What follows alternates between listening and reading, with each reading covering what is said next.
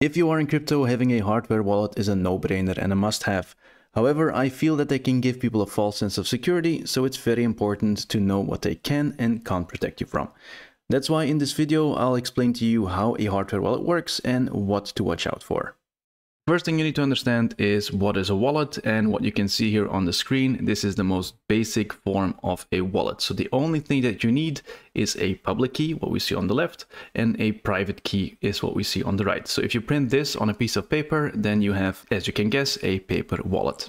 Bitcoin.com made a slightly fancier version of this and as you can see it looks like a coupon and they covered the private key right here. So only if you remove the seal you will be able to see the private key. But yeah guess what? Somebody had to print this paper so it is possible that somebody has that private key. They also compare it to a $20 bill, and I think that's a very good comparison. So if you have this little piece of paper in your wallet, somebody steals your wallet and they read your private key and your public key, they have everything that is in that address. Now, of course, just having these two pieces of information is not enough. You should be able to interact with the network as well. So you need a piece of software to enter your public and private key and to do some interactions. You can imagine doing this every time typing in your private key along with your public key is a bit of a hassle. The solution comes in the form of wallets we all know and use. The most popular one is MetaMask, which will generate and manage your keys, show your balances, and interact with the blockchain with just a click of a button. No need to manually enter keys or manually look up balances on the blockchain. So most of the wallets that we use these days come in the form of either a mobile app, a desktop executable, or a browser plugin like MetaMask, for example. So what happens next if you install the MetaMask plugin? Well, basically you will go through a little wizard and it will generate your keys for you. So the issue, of course, with these hot wallets is that they store the keys in an encrypted file on your device, whether it's your computer or your mobile phone, it doesn't matter. It is on a quote unquote hot system. And with a hot system, we mean that it's on a device that is connected to the internet and therefore it is exposed to hacking. So anyone who gets access to your device can get a hold of that encrypted file. And once they have that encrypted file, the only thing they have to do next is get the password, which can be done in two ways. They can install a keylogger on your device, or they can simply try and brute force crack your, uh, your password. Again, that is why you want to have passwords that are long enough, not easy to guess, and preferably as random as possible. I wouldn't be making this video if there wasn't a better solution, and of course there is. It is called a hardware wallet. Hardware wallets are different because they're not connected to the internet and the keys are stored on the device itself with the promise that the keys will never leave the device. This means that you have to physically get a hold of the device and guess the pin code, or in this case, you need the fingerprint. So most devices will lock your hardware wallet after several attempts, which prevents hackers from performing a brute force attack even when they get a hold of the device. Now, very important, just like hot wallets, almost all hardware wallets require you to write down a backup code known as the seed phrase. You can see seed phrase here on the screen. It will either be 12 words or 24 words, and I don't have to explain to you that 24 is of course more secure than 12. Now, what is the seed phrase used for? Well, basically when you generate a wallet, this seed phrase can reconstruct everything in that wallet. So that also means that if you delete everything on your PC or you lose your mobile phone or you lose your password, this is your last resort.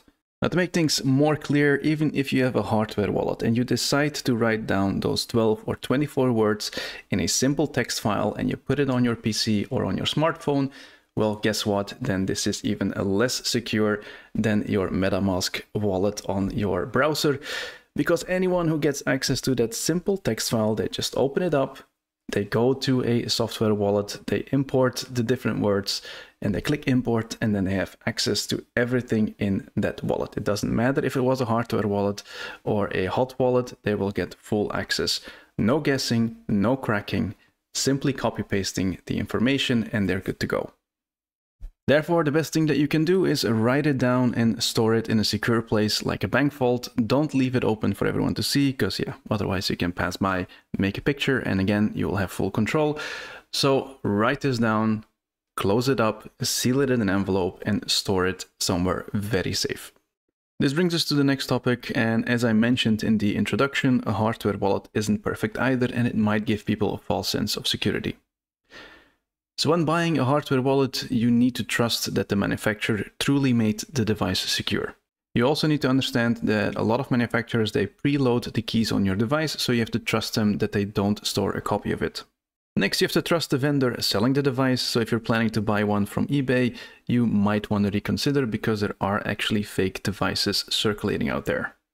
And even if everything is working well, you still have to trust that the manufacturer doesn't create a new firmware update that can extract your private keys, for example, like Ledger did. Of course, they're not exactly extracting your private keys to use them, but they did this to make a recovery service, and this pissed off some people, of course, in the uh, crypto community. This also brings me to the idea that if somebody would ever be able to hack the manufacturer's firmware update server, well, then you have a problem as well. But of course, this is also applying to any update servers, just like the one for Apple or Microsoft. And last but not least, it is very important that you can trust yourself not doing stupid shit. So you could have guessed it, the biggest weakness in this entire list is you, the user. So remember, a hardware wallet cannot protect you from confirming on a scam or phishing website that the website can spend 100% of your tokens. This is your fault. It has nothing to do with the hardware wallet or even a hot wallet. This is you signing the transaction and you giving permission to somebody else. Next, if you decide to leave your hardware wallet lying around everywhere in your local Starbucks, at the McDonald's and so forth, and you decide to use a PIN code that is 4 times 0, 4 times 1, who knows, and everything gets drained from your wallet, well, this of course is on you. Use a strong PIN code, don't use something simple. If possible, use six or eight numbers. And lastly, if you decide to write down your seed phrase and paste it on your monitor or you put it in a text file, again, this is on you. This is you not taking the necessary steps. Now before closing off this video, if you are planning to buy a hardware wallet and you want to support the channel, then I suggest to take a look at the description of this video. There you'll find a bunch of affiliate links to different hardware wallets, so that would help me a lot if you would use those links. Of course, if you don't want to, no problem at all. Just go to the websites directly to buy your hardware wallet. Good, that's it for this video. If you got any questions, just post a comment and I will get back to you as soon as possible. Also, don't forget to hit that like button and don't forget to subscribe. Thanks again for watching and I'll see you guys in the next one.